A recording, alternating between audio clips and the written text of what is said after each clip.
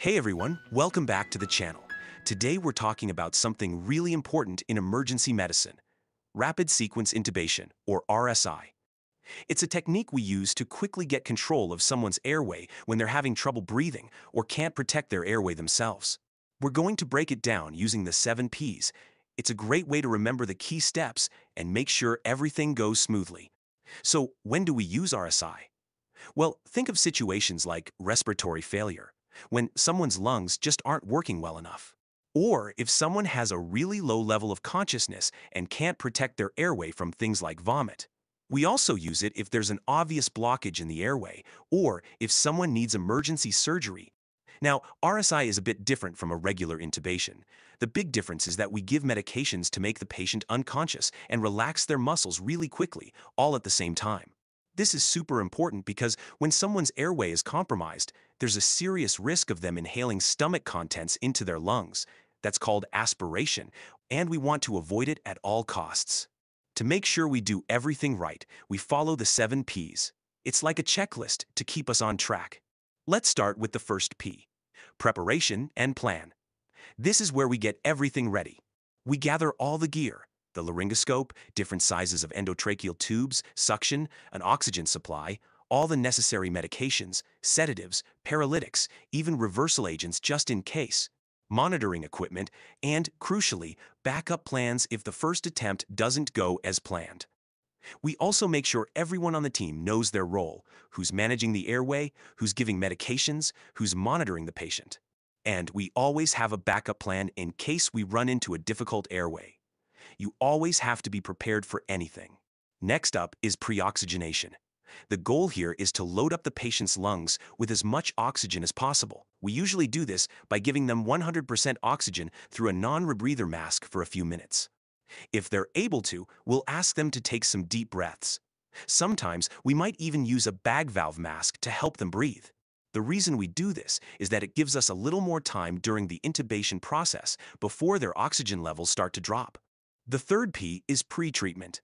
This is where we give medications to try and prevent some of the side effects that can happen during intubation.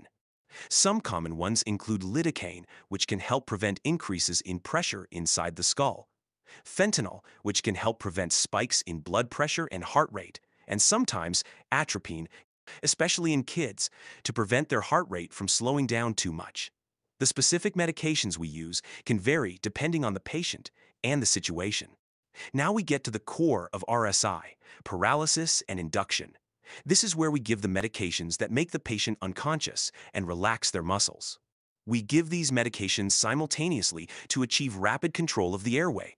Let's talk about the common choices. For induction, to make the patient unconscious, we have a few options. Ketamine, this is often our go-to choice, especially in emergencies. It provides good sedation and pain relief and it usually doesn't cause a big drop in blood pressure, which is really important if the patient is already unstable. Propofol works really fast, but it can cause a significant drop in blood pressure. So, we tend to reserve it for patients who are hemodynamically stable, meaning their blood pressure is good, or in specific situations like when we need to lower pressure inside the skull or stop seizures quickly.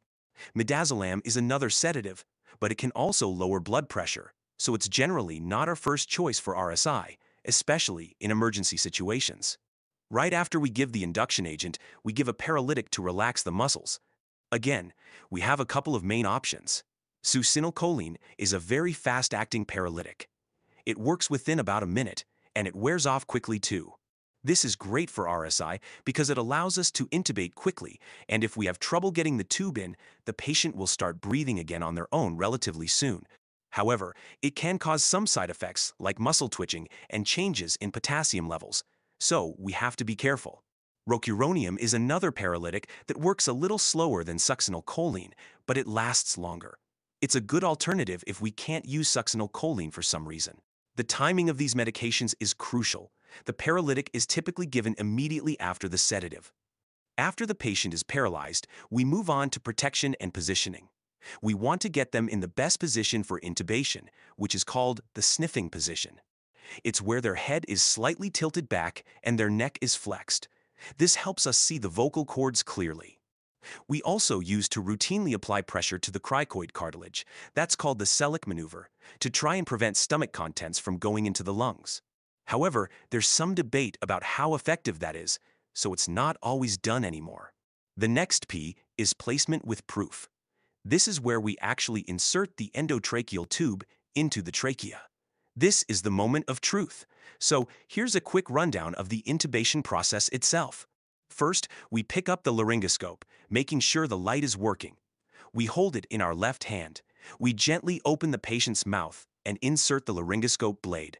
There are two main types of blades, a curved Macintosh blade and a straight Miller blade. We'll choose the appropriate one for the patient. With the Macintosh blade, we advance it along the tongue until we see the epiglottis. Then, we lift the laryngoscope upwards, not backwards, to expose the vocal cords.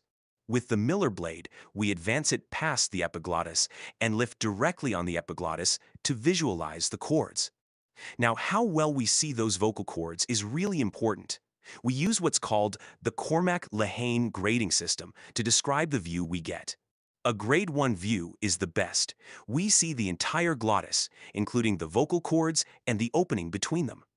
A grade 2 view means we see part of the glottis, but not the whole thing. We might only see the posterior portion or the arytenoids. A grade 3 view means we only see the epiglottis, and we have to infer the position of the vocal cords. And a grade 4 view is the worst. We can't even see the epiglottis. Ideally, we want a grade 1 or 2 view to make intubation as easy and safe as possible. If we get a grade 3 or 4 view, we might need to use different techniques, like external laryngeal manipulation, where someone pushes on the outside of the neck to try and improve the view, or use a bougie, which is a flexible introducer that we can slide into the trachea and then thread the endotracheal tube over. Video laryngoscopes are also extremely helpful in these situations. Once we see the vocal cords, we take the endotracheal tube in our right hand and carefully insert it through the cords until the cuff, that little balloon at the end, is just past them. We want to see the black line on the tube just past the cords. Now that the tube is in, we remove the laryngoscope. We immediately inflate the cuff with air to create a seal in the trachea. This is super important to prevent air leaks and aspiration. Now that the tube is in, we have to make absolutely sure it's in the right place. We do this in a few ways. We look to see the tube go through the vocal cords during insertion, we listen for breath sounds in both lungs, and over the stomach, we use capnography, which measures the carbon dioxide in their breath. This is the gold standard for confirming placement, and we'll usually get a chest x-ray afterwards just to double check and make sure there are no complications.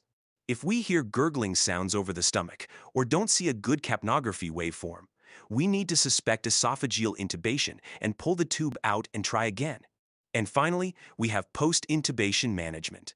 Once we've confirmed the tube is in the right place, we secure it with tape or a special holder. Then we connect the patient to a ventilator and set it to the right settings. We'll get another chest x-ray to confirm the tube is still in the correct position and to check for any problems. And of course, we'll keep a close eye on their vital signs and other important things. Now, it's really important to remember that RSI is a complex procedure that requires proper training and a lot of practice. This video is just for informational purposes and shouldn't replace formal medical training. Thanks for watching. If you found this helpful, please give us a thumbs up and subscribe for more medical education content.